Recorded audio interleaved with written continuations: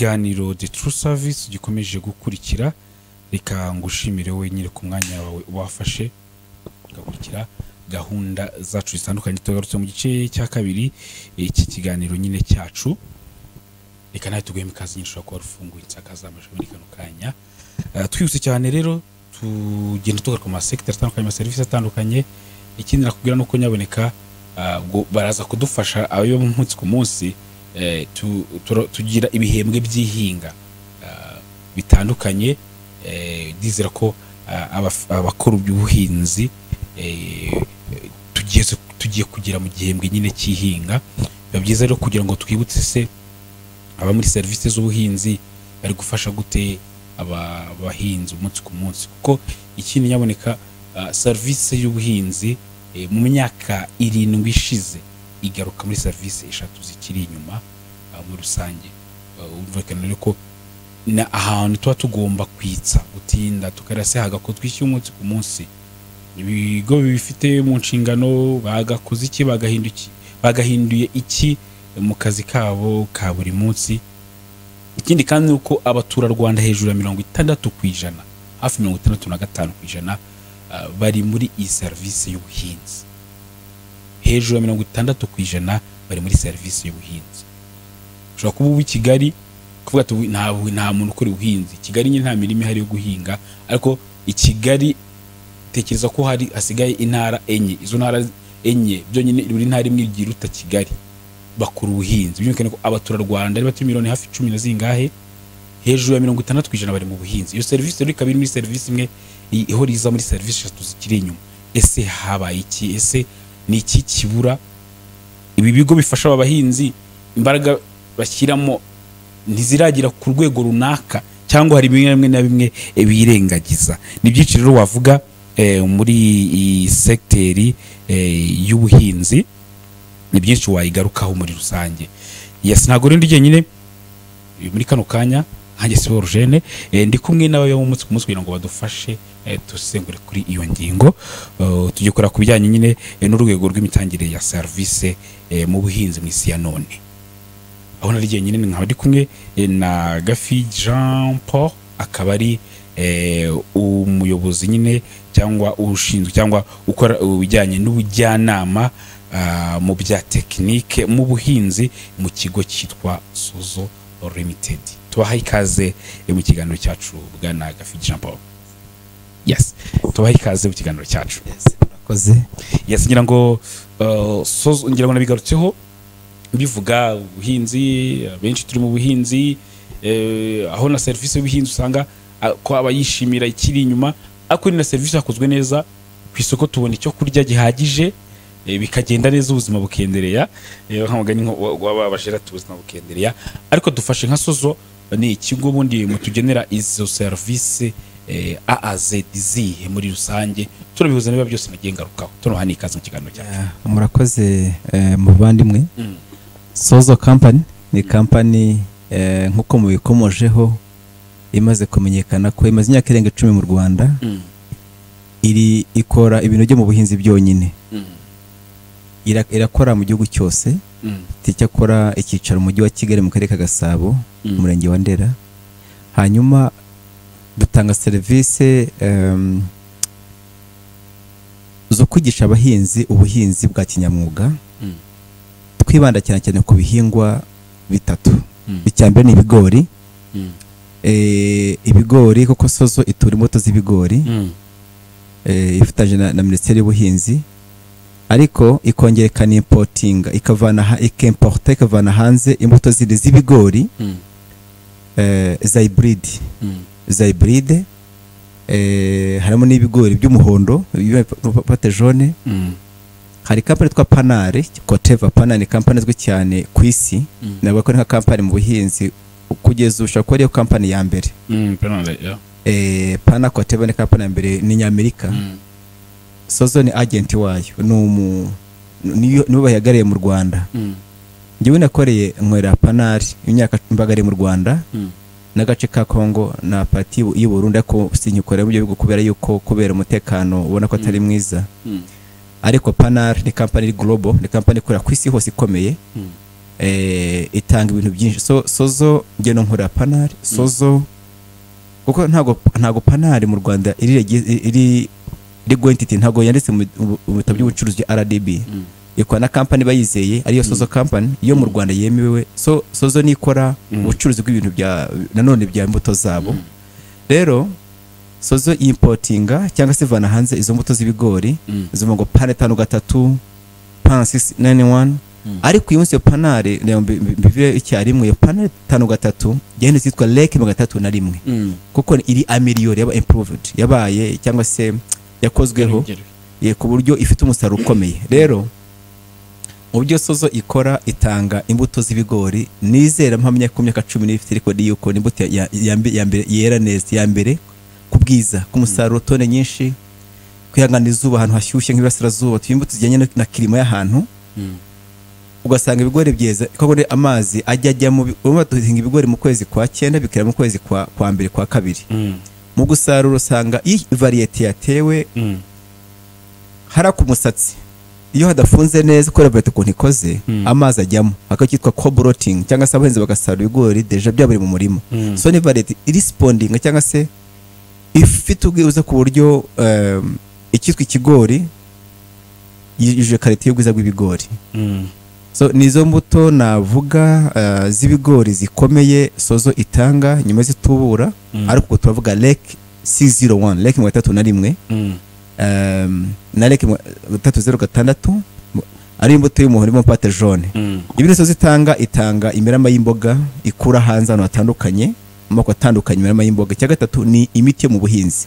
Imiti mu buhinzi haba harimo ibyitwa amainsekitiside kurwanya ubusimba ah, amafangoside kurwanya indwara z'ubukonje n'imvura nyinshi se n'amahabiside Mm. amahabiside ni- imiti ikoreshwa mu kurwanya ikirere mu bihingwa kurwanya ikirare. Habiside cyangwa se herbicide ni imiti ikoreshwa yemewe na na WHO cyangwa se na idafite ikibazo kuri kuri environment. Yemewe mu Rwanda kuko ibiza pari eh, twabonye import permit ni imiti ifashwa ifasha kugira ngo kurwanya ikirere mu bihingwa nko mu bigori amahabiside ari specific kubagara ibigori. Ibigori mu gihe gihenda guhinga ibigori hafi ku isi ni ukurwanya ikirare kuko ikirare ni cyo kibazo gikomeye ki- ki- ki- ki- creatinga nutrient co- nutrient compe- competition cyangwa se intungagihingwa bika- bikabirwanira. Ikirare n'igi- n'igihingwa. So tugira amahabisi amahabiside ari specific kuri specific crop. Niba ari ku bigori habiside zigenda zikabagara ikirare mu bigori kuko ni imiti itwika ibyatsi. Ariko ibigori ntacyo biba. Twasaze ikintu gihenda guhinga ibigori cyangwa se ibihingwa byinshi ni ukubagara. Weed management cyangwa se kurwanya ikirare usanga twara hafi, hafi amafaranga afashe. Iyo ukoresha ha- herbicide zacu habaho kugabanya ikiguzi cyo guhinga ibigori hafi mirongo ine ku ijana. Kandi ugasanga ubutaka eh, kandi ubutaka ugasanga buri, protected. Uyu munsi mu rwanda dufatanyije na rika university rika university niyo ufite amakuru wahinga ku buryo bwa conservation. Ntabwo bashaka ubutaka ubu- ubu- uburima kuko bitese uka- uka- buri butaka buriho umuntu abusajisha kuko aba ariho asenye structure y'ubutaka naturally. So bashaka uburyo bahinga utarimye ubutaka.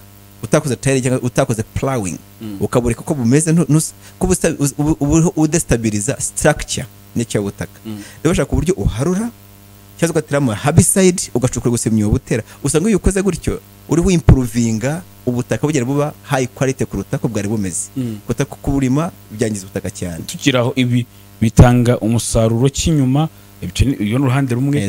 Ikindi ngira ngo ni ingingo uraza kugeraho Eh. eh, uko ni uko muhugura a- abahinzi Mm.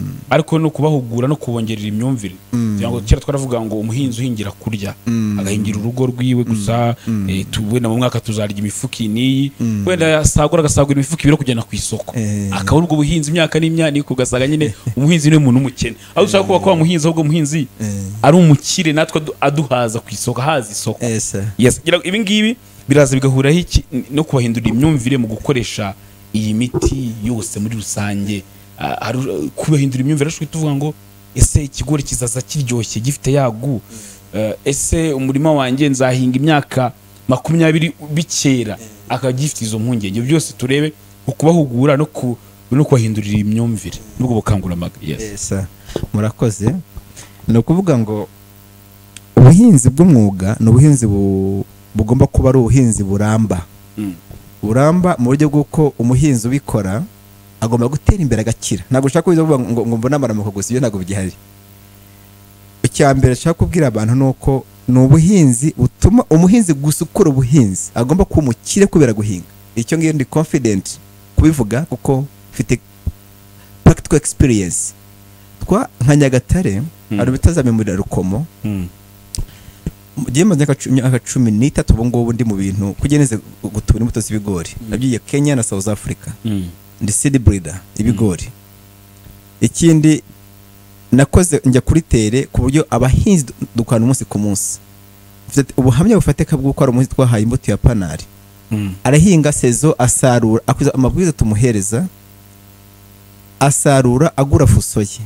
Si umwe kandi. Eh, ni benshi. Ni ukuvuga ngo ndahamya ko ubuhinzi burakiza ikibazo gikomeye cyane ni imyumvire gusa.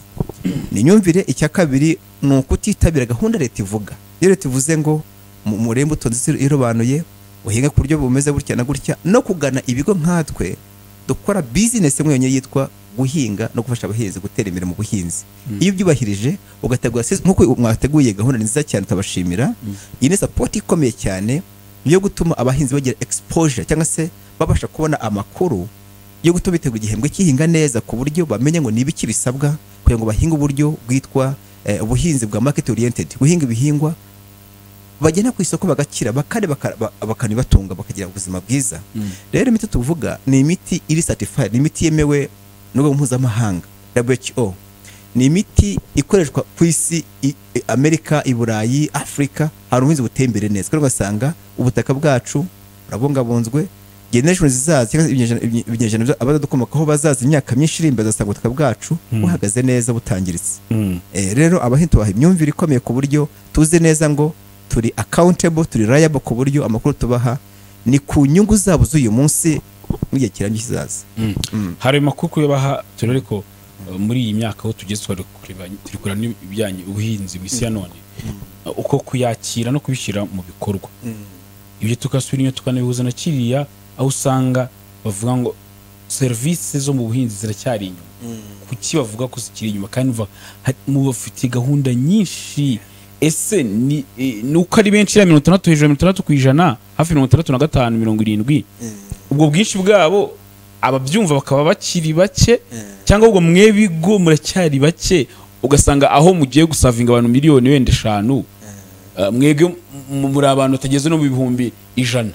Muri gusavinga miliyoni eshanu Eh, ari amakampani atageze no, mu bihumbi ijana cyangwa ari abantu batageze no mu bihumbi ijana bagiye gusavinga abantu wenda miliyoni eh, enye cyangwa eshanu aho nabwo tukirebe ya- yaba bikiri aho ah, imbogamizi ikiri aho Yes. cyangwa ni imyumvire n'ubundi Eh.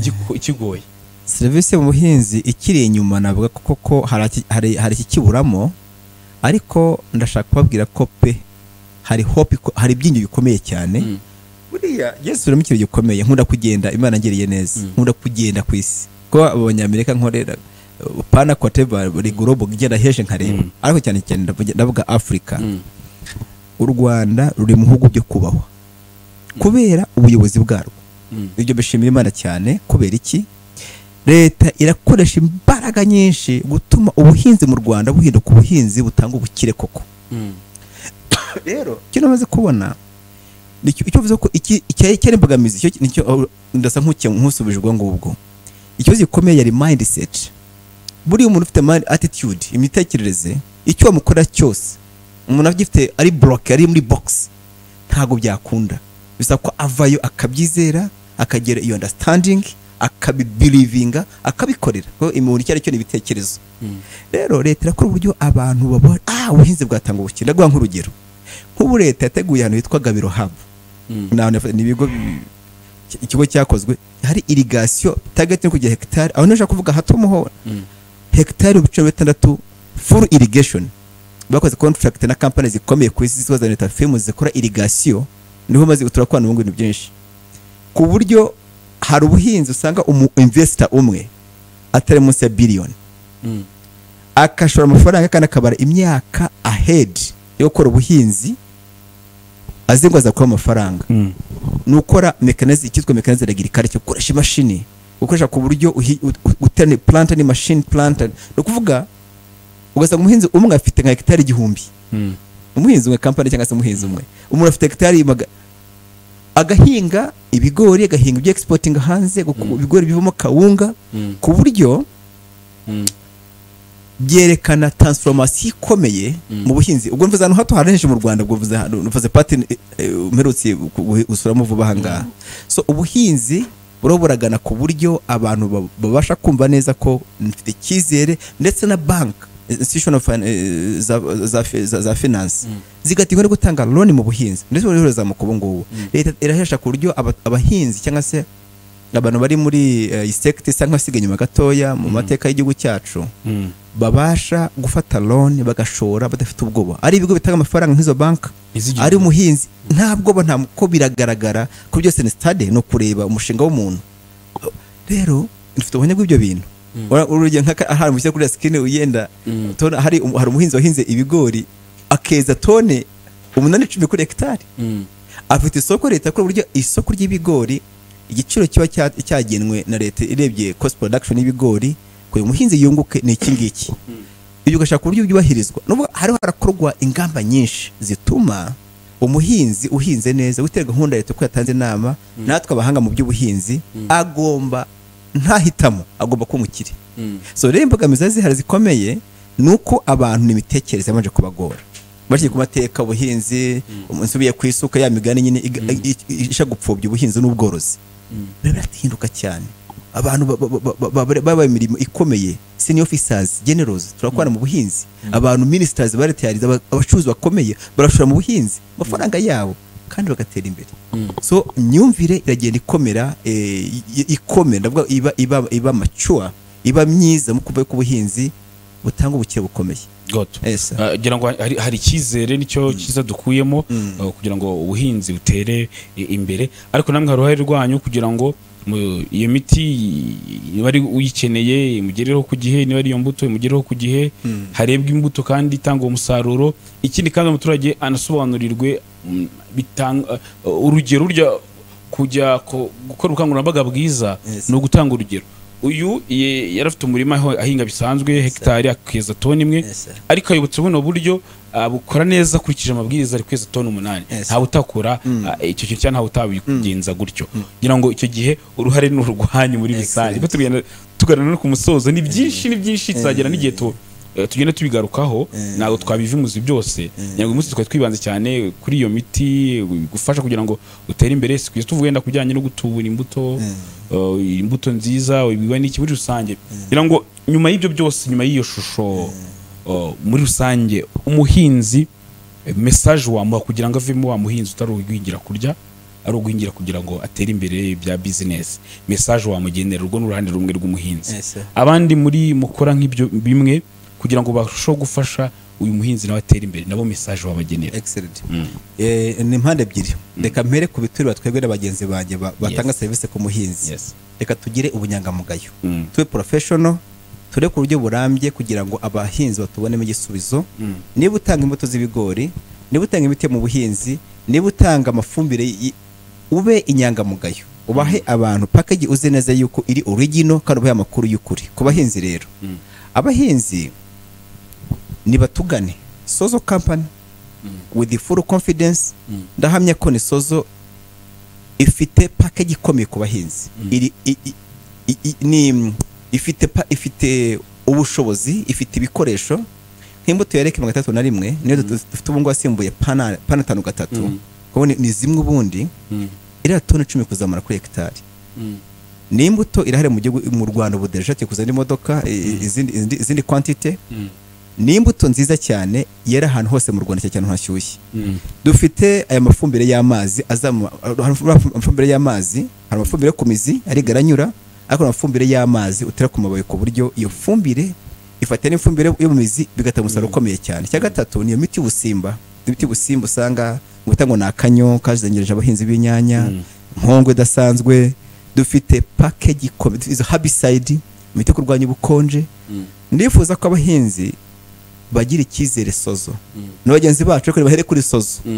Eh, ku buryo nizera neza ko bazabona yes. Murakoze. Gafi dusoza na- na- na- twabona eh, serivisi zose mu gihugu umuhinzi aba aherereye mu gihugu abasha kubona serivisi zanyu. Exact niko dukora. Mm. eh, turazenguruka kuri dufite abastafu kuri tere. Mm.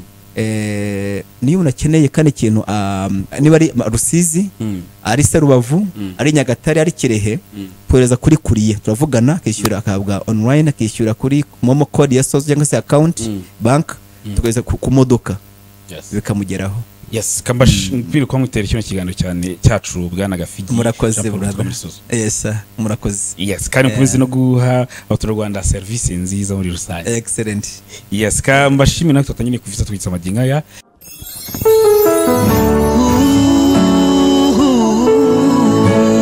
yeah, Isango Star.